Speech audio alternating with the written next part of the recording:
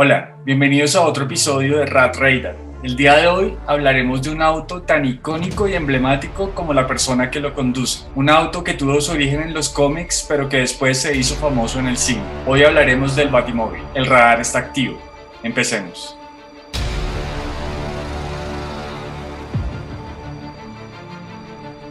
Bueno, yo creo que todos tenemos un amigo que es muy aficionado de Batman, que conoce mucho del tema en mi caso particular, la persona que conozco que cumple estos requisitos es Andrés Rodríguez. Es diseñador gráfico e ilustrador, muy talentoso, eh, y por eso es el invitado a este episodio para hablar sobre el Batimóvil. Hola Andrés, bienvenido. Gracias por aceptar la invitación. muchísimas gracias a usted, Iván, por tenerme en el radar. Y bueno, vamos a hablar sabroso del Batimóvil, de Batman y de paso un poco de cómics. A pesar de haber estudiado juntos, Andrés lo conocí mucho más eh, durante una época en la que trabajamos juntos. Algo que recuerdo mucho de esa época era que empezó a prestarme su colección de cómics, cosa que yo sé que no lo hacía con todo el mundo y se lo agradezco mucho. Y era muy bueno porque no solo me prestaba los cómics, sino que siempre me daba como cátedra acerca de los dibujantes, los escritores, el arco argumental de dónde venía esta saga que estábamos leyendo y hacia dónde iba después. Entonces son recuerdos que, que, tengo muy frescos en la memoria y gracias a él aprendí muchísimo. Entonces quisiera empezar preguntándole a Andrés que me comentara un poco sobre esa colección de cómics. Y sí, efectivamente me acuerdo muchísimo cuando empezó usted a leer mi colección. Creo que usted fue una de las poquísimas personas a las que yo les, les abrí la colección. En ese momento yo tenía una colección mucho más pequeña, no sé, unos 600, 700 cómics y usted se lo leyó con una devoción que me pareció eh, conmovedora y que se merecía pues fomentarse. Yo vivo en Argentina desde hace 10 años, desde acá yo he seguido un poco menos que antes, pero he seguido alimentando la colección con, cómics mucho más viejos eh, y bueno, y algunos contemporáneos, no tanto como antes. Ahora debo tener, la colección está en Bogotá, debe tener más o menos unos 1200 ejemplares mal contados, no solamente de Batman, sino pues de todo el universo DC y otros, otros personajes que también me interesan. Claro, estamos hablando de un número considerable de cómics, una colección grande. Cuéntenme un poco, Andrés, de dónde nace su amor por el personaje. Ah, leo Batman desde que tenía, desde que aprendí a leer, desde los 5 o 6 años que mi mamá me enseñó a leer en, en, las historietas que salían publicadas en el tiempo, en las aventuras del tiempo. Tuve la fortuna de tener un hermano mayor que tenía una colección más o menos grande de historietas en esa época de Editorial Novaro, historietas editadas en México pero impresas en Colombia, es decir, se traían las planchas a Colombia, se imprimían.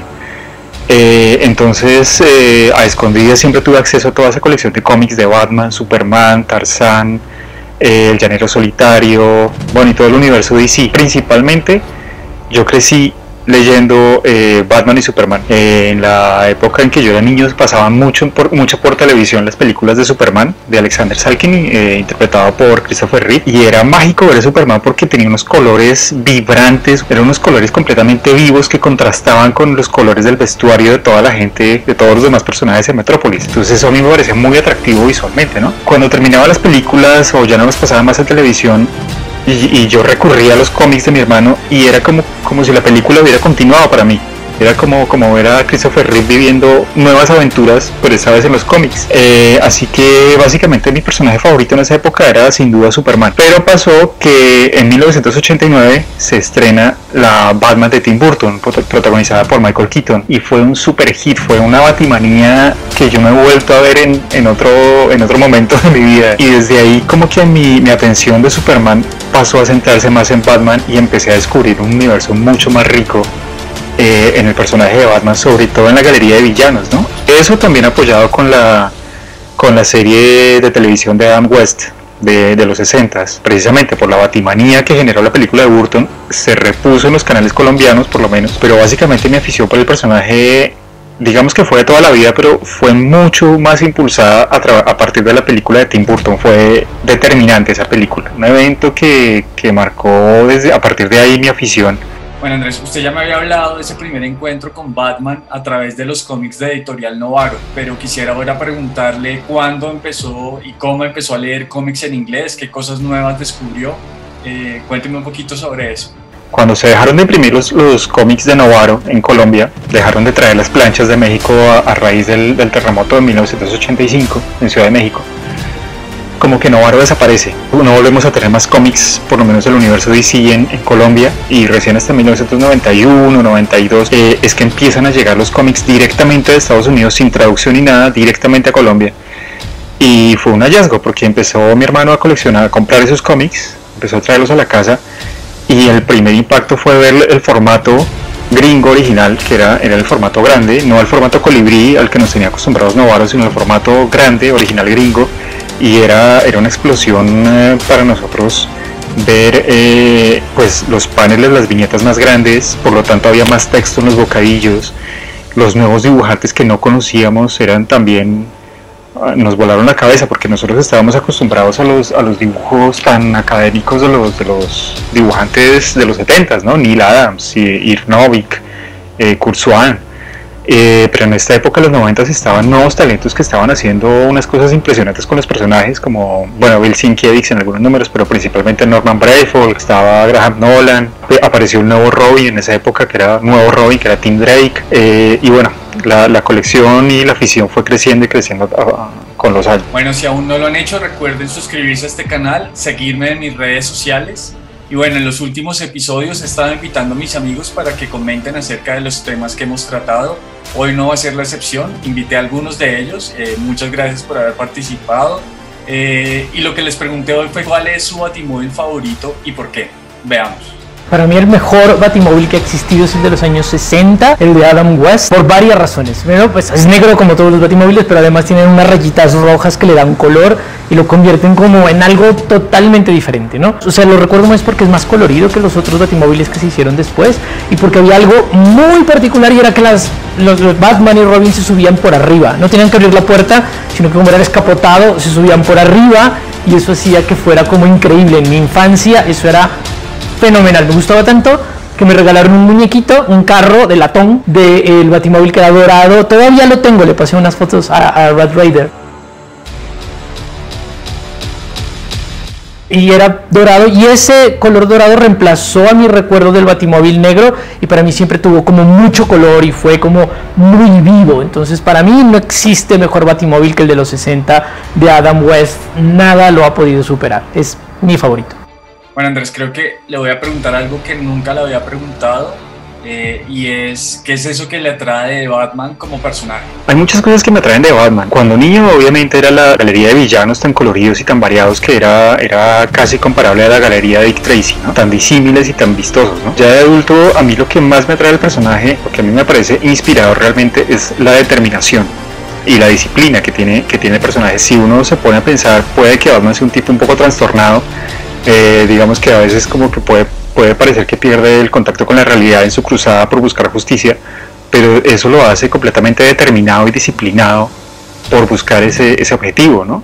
Un objetivo que nunca va, nunca va a alcanzar, porque lo que él quiere es redimir la muerte de sus padres, es una cosa que, que va a ser imposible, pero lo que me parece inspirador es esa determinación, esa disciplina que, que a mí por lo menos me inspira el personaje, ¿no? ¿Qué otras cosas colecciona de Batman? Aparte de los cómics, ¿qué tipo de cosas colecciona? Eh, desde que estoy viviendo en Buenos Aires, eh, realmente compro cosas muy específicas de Batman. Tienen que llamar, llamarme mucho la atención para poder, para poder comprarlas. Por ejemplo, hace unos años me llamó mucho la atención el, la versión del Joker de Libermejo, eh, que es, me, parece que es buenísima y bueno, y la compré. Pero soy mucho más selectivo ahora para, para comprar cosas que realmente me llaman la atención tanto cómics como coleccionables, ¿no? Bueno, después de esta serie de preguntas introductorias que consideré importantes para entrar en contexto, eh, empecemos a hablar sobre el Batimóvil, Andrés. Eh, es un vehículo casi tan famoso como, como Batman, es un personaje en sí mismo. Quisiera que usted me contara qué opina del Batimóvil y por qué cree que se ha vuelto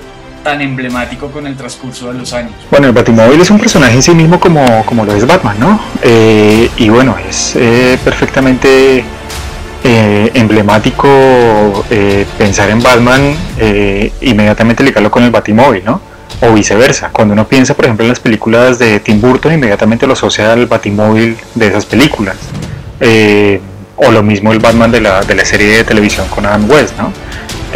realmente el personaje de Batman no puede entenderse sin todos sus, sus gadgets y sus adminículos, como son en este caso el Batimóvil o vuelvo a lo mismo, sin su galería de villanos, ¿no? Como que todos esos elementos hacen, eh, enriquecen mucho el, el mito y la, la cosmogonía de Batman, ¿no? Bueno, investigando para el episodio descubrí que hay cientos de versiones del Batimóvil, ¿no? Si tenemos en cuenta cómics, series animadas, series de televisión, películas, videojuegos. Yo personalmente siento que, que el Batimóvil ha evolucionado casi que a la par del personaje, ¿no? Respondiendo a esas necesidades argumentales y a la inevitable evolución del personaje, ¿no? Andrés, ¿qué opina al respecto? Sí, a lo largo de los 80 años de Batman eh, ha habido muchísimos batimóviles efectivamente que responden, digamos, argumentos muy específicos de, algunas historias. Hay una doble página, creo que es en Batman Hush, en algún número de Batman Hush, donde están desplegados todos los batimóviles en la baticuada, todos los batimóviles, incluidos los del cine y televisión, eh, que él ha tenido. Eh, pero sí es, es un elemento más del, mito del personaje, ¿no? Eh, es que en 80 años de historia es imposible que, que, no haya una colección enorme de batimóviles y de, y de, adminículos, algunos más ridículos que otros, se me viene a la cabeza, por ejemplo, el batigiro que utilizaba en los en los 50 que después Brian Bolan en la broma mortal lo, lo retoma en una viñeta, lo que le digo, 80 años de vida eh, y muchos más que le quedan por delante eh, seguramente van a venir muchas más versiones del Batimóvil y de nuevos adminículos. Hola amigos del radar, a continuación les voy a hablar acerca de mi Batimóvil favorito. Este para mí es el mejor, es el que acompañó a Ben Affleck en la Liga de la Justicia. Me gusta definitivamente su corte aerodinámico, musculoso y por sobre todas las cosas y tal vez mucho más que los anteriores, un poder de fuego que salta a la vista pero por supuesto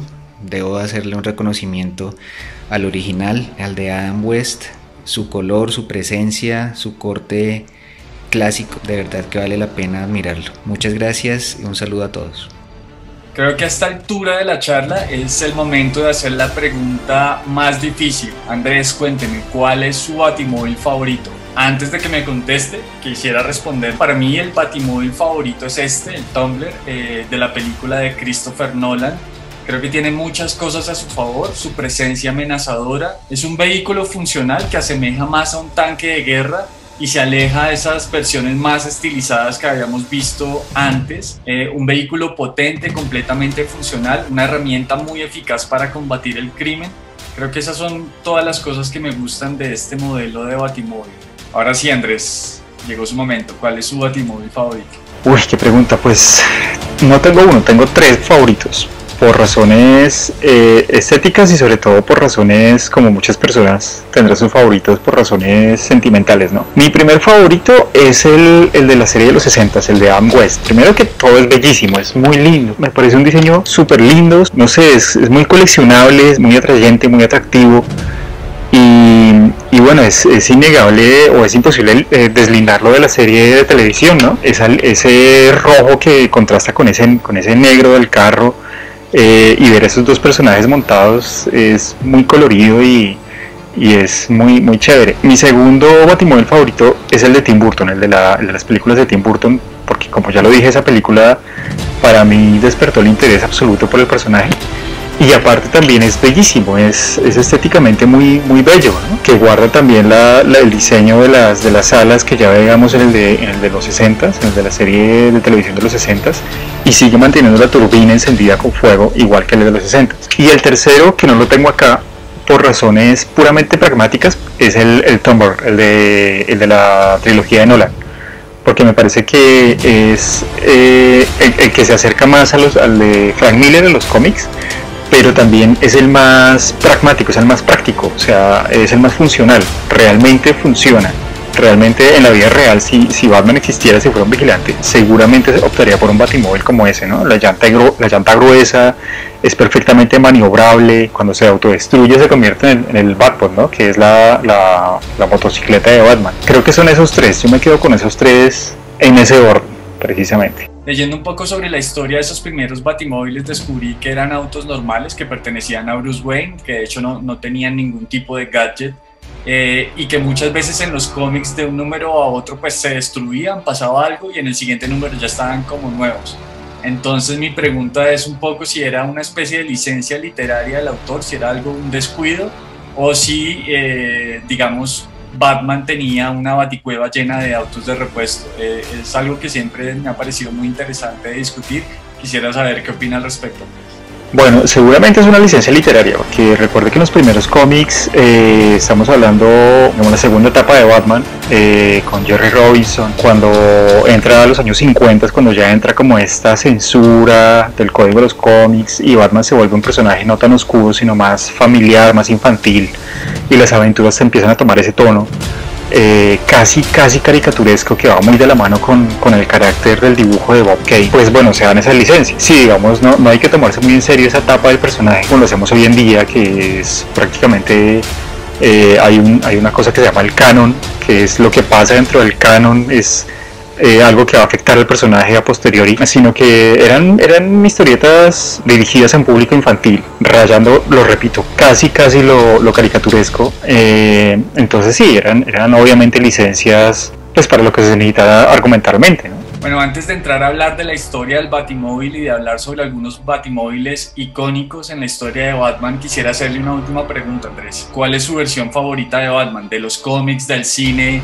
¿Cuál es ese Batman favorito? Bueno, en el cine mi, Batman, mi interpretación favorita de Batman es la de Christopher Nolan, eh, la de las películas de Christopher Nolan por Christian Bale. Me parece que, que, está muy bien llevado, es un Batman que se acerca mucho al año 1 de, Frank Miller, pero también tiene su propia, su propia personalidad. La interpretación de Christian Bale a mí me, me gusta muchísimo, tanto como Batman como Bruce Wayne. Es un personaje cuyo traje es más funcional, no es tan apegado a los cómics como el de Ben Affleck, sino que es más funcional, más apegado a lo que sería un vigilante en la vida real y cuyo tiempo de, carrera como Batman es muy corto, ahora con muy pocos años, que sería algo que me parece perfectamente coherente para el tipo de desgaste que requiere un personaje que sale todas las noches a, combatir el crimen. Eso en cuanto al, cine y en cuanto a los cómics, mi, persona, mi, versión favorita de Batman es una dibujada por eh, Don Newton y entintada por Dan Atkins, que, mm, trabajaron a finales de los 70s, casi, casi principios de los 80s. Eh, ellos trabajaron como, como pareja creativa más que todo en Shazam, ¿no? en el Capitán Marvel.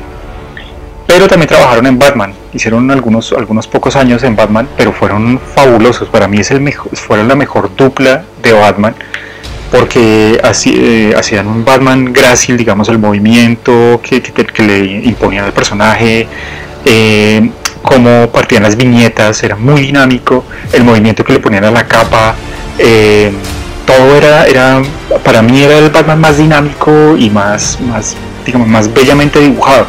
Me parece muy raro que ninguna antología de DC Comics los mencionan. No sé, no sé por qué motivo. Mencionan a Neil Adams, a Jim Aparo, a, bueno, a Dennis O'Neill como escritor, pero a Dan Atkins y a, Don Newton siempre los blanquean. Yo no sé por qué, si son, eh, para mí, la, la, mejor versión de Batman, para mí, de los cómics, hasta el momento es, son ellos dos. Hola. Gracias Johancho por la invitación para hablar sobre el Batimóvil. El de la serie de los 60 es de mis favoritos, que tiene como unas cabinas de jet con los dos puestos separados. Es muy bacano, ha envejecido muy bien, todavía se ve bacanísimo. El de Tim Burton es de mis favoritos, que inspiró todos los Batimóviles de las cuatro películas de los 90, pero este es el que se ve como más limpio y también ha envejecido súper bien. 31 años después se ve bacanísimo ese carro. Mi favorito es el de Nolan. Es un tanquecito muy agresivo, muy inesperado para una película de Batman. aerodinámico, es súper rudo. Y lo bacano de este carro es que lo hicieron desde cero. Diseño original, ingeniería original. Muy ancho, muy grueso, muy fuerte ese carro. Y eh, aparte se convierte en moto. Entonces ese es mi favorito. Gracias. Así llegamos al final de este episodio pero no se pueden perder la segunda parte de este especial dedicado al Batimóvil. En ese episodio tendremos más invitados, tendremos un top 5 de los mejores Batimóviles, haremos un repaso de mi colección y analizaremos con Andrés a fondo la historia del Batimóvil. Antes de irse no olviden suscribirse, activen la campanita, síganme en las redes sociales, cuídense mucho y nos vemos en un próximo episodio de Rat Raider.